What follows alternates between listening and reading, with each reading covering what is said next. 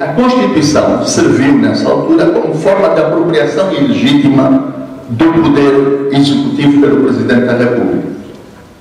Eh, contrariamente aos compromissos públicos que havia, o Conselho da República reuniu-se e decidiu a conselho do Presidente da República, veja, o Conselho da República é para aconselhar o Presidente, mas ele inaugurou um estilo, que agora o, o atual Presidente também persegue, que começa o Conselho da República aconselhando os conselheiros. E os conselheiros, bem aconselhados pelo Presidente, aconselham o Presidente no sentido de que foram aconselhados. Ora, em, ora,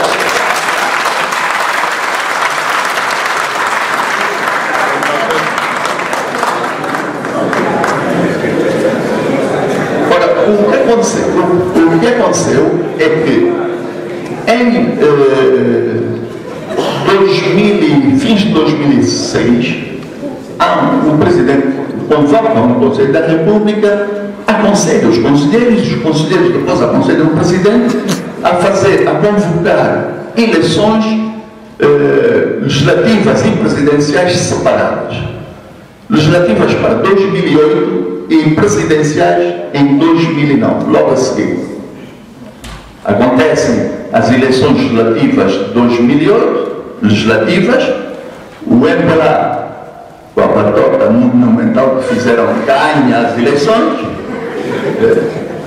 e constitui governo. Estamos num quadro de sistema eh, semipresidencial, embora forte, mas é semipresidencial. E tem um primeiro-ministro e tem uma maioria no Parlamento. Em 2010, em 2009, não se realizam as eleições presidenciais.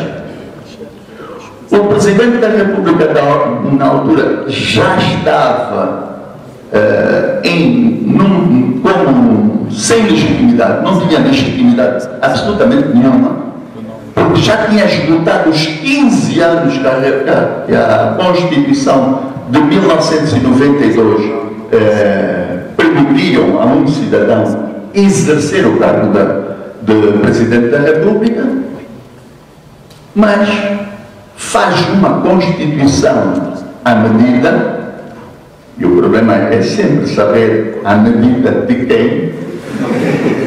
Parece que não era a intenção do Raul dizer que era a medida do Presidente da República. É, no caso, ele disse que é a medida da nossa realidade. Naquele caso, foi da realidade do poder que nós vivíamos ali e da relação entre o poder e o direito, que foi muito bem sinalizada aqui pela Margareth, naquele momento. A orientação geral da Constituição é a soberania reside no povo, que é representado através de deputados na Assembleia Nacional. E o poder é exercido através de três, três poderes, concretamente: legislativo, executivo e judicial. O que é que acontece no título 4? Em vez da separação de poderes, dá-se a fusão de poderes. Aquilo que se declara no princípio da Constituição é depois negado no título 4, porque o Presidente da República aparece como o príncipe acima da lei. E a Constituição deixa de ser uma Constituição e passa a ser aquilo que se chamava nos anos 30 na Alemanha, quando Hitler chegou ao poder, uma simples lei de autorização. E a, a, e a Assembleia Nacional passou a ser um cartório que carimba as decisões do Presidente da República. Isso tudo é gravado com a própria história política. 82% ou 85% de, de, de deputados na Assembleia vêm a gravar é, tudo isso. Por isso, há uma, característica intelectual da, da CRA, da Constituição da República de Angola, é a subversão, quer na sua história, quer no, no seu conteúdo. É? É, porque, vou concluir vou concluir só, já que não posso uh, uh, mais, só para dizer que, então, temos a concretização de um golpe. O Presidente da República toma o poder de forma ilegítima contra o próprio MPLA, que era quem tinha o poder eh, do governo. Bem, ele já tinha exonerado o Marcolino Monte também contra a maioria, a maioria parlamentar e sem consultar a maioria parlamentar. Mas isso é outra conversa.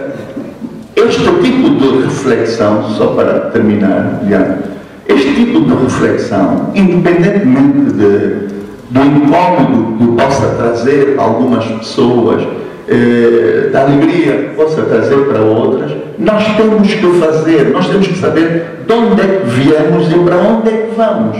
E por isso temos que iluminar o nosso caminho para chegarmos à Constituição ideal e por isso é que eu estou aqui e vou dar todo o meu esforço no sentido de encontrarmos a, a Constituição mais ideal possível, contribuição da academia. Sempre esteve lá, porque as outras Constituições, não, a partir do processo de democratização, na verdade também foram da academia. Só esta é que é de uma outra academia, foi importante.